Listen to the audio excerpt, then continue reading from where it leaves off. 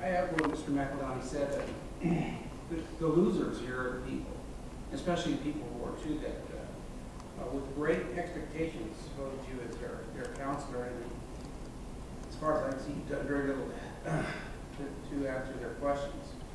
Uh, I, I really feel like, uh, I really feel like you owe your, your, uh, your ward an apology. Um, You're more interested in yourself and defeating the mayor up than you are of battling for your people. Uh, If I, and I live in Ward Two, and I really feel like people in Ward Two should, to, uh, should take you out of office. I think uh, you have broke every trust that we have in you, and that you care not about nobody but yourself. And it's sad that we have to sit here and waste all our time on this trivial stuff, when really it doesn't, it doesn't have to, hill of beans, you just, you just are looking for another club, another legal club that you can beat somebody up with. And I, I'm for people of Ward Two to, to stand up and uh, take the floor and uh, take this from you, because you don't deserve that seat. Mr. Benson and then Mr. Jacob. Let's talk about the oath that we took when we uh, took these offices. The oath to uphold the city charter. Oath to obey state law.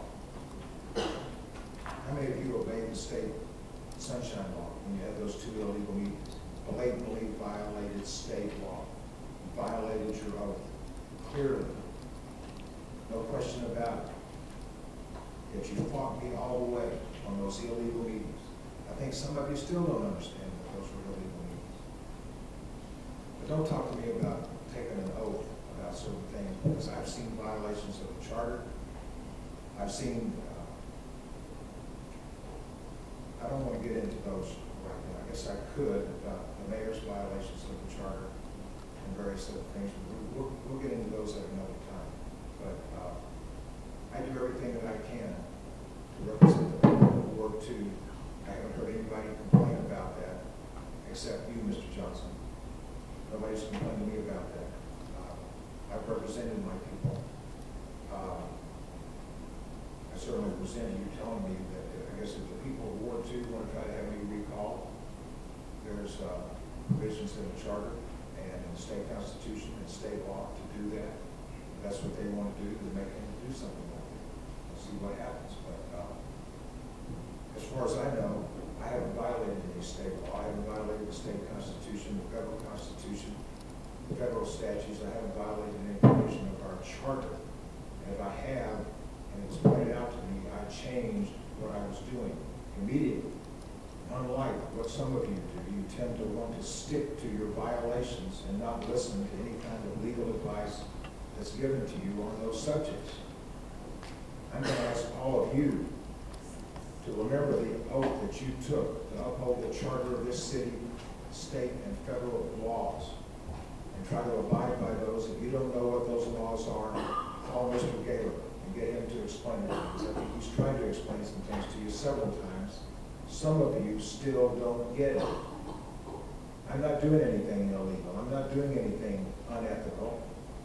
I'm just trying to get information to which I'm entitled.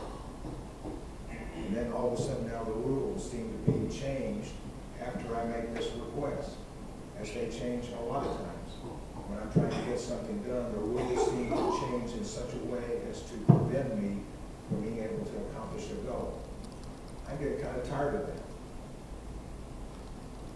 And I had to threaten to take you to court several months ago to get the, the actions that, the illegal actions that you took after two illegally called executive sessions.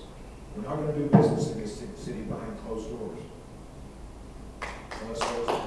Excuse me, unless those meetings. thank you. Unless those meetings are specifically authorized by the Colorado Sunshine Law. Okay, Mr. Jacob.